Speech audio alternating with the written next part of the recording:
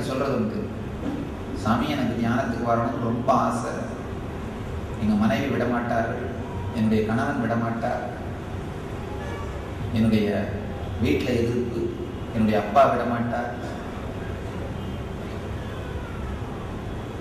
நம்முடைய வாழ்க்கையில எல்லாத்தையும் அட்ஜஸ்ட் பண்ணிட்டு போகணும் அப்படின்றது உண்மைதான். குடும்பத்தை நல்லபடியா கவனிச்சுக்கணும் அப்படின்றது உண்மைதான்.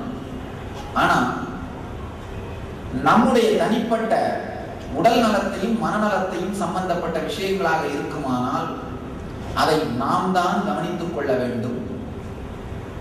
இப்ப அவங்க சொல்றாங்க இவங்க சொல்றாங்க அப்படின்னு தியானம் பண்ணாம இல்லை இந்த ஆன்மீக வாழ்க்கையில முன்னேறாம இருந்தீங்கன்னா நாளைக்கு உங்களுக்கே ஒரு உடல் வியாதியோ மன வியாதியோ வரும் பொழுது யார் கூட இருந்து பார்ப்பார்கள்?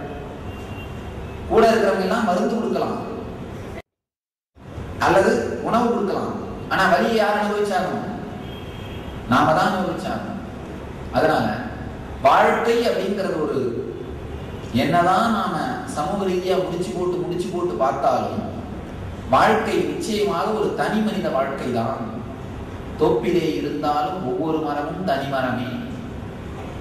அதனால நம்முடைய மெய்மை நம் நினைத்தது போலே நம்முடைய உடலால் வாழுகின்ற அந்த மெய்மை அந்த ஸ்திரத்தன்மையும் தைரியமும் தான். வாழ்ந்தோம் என்கின்ற திருப்தியை நமக்கு அளிக்கும்.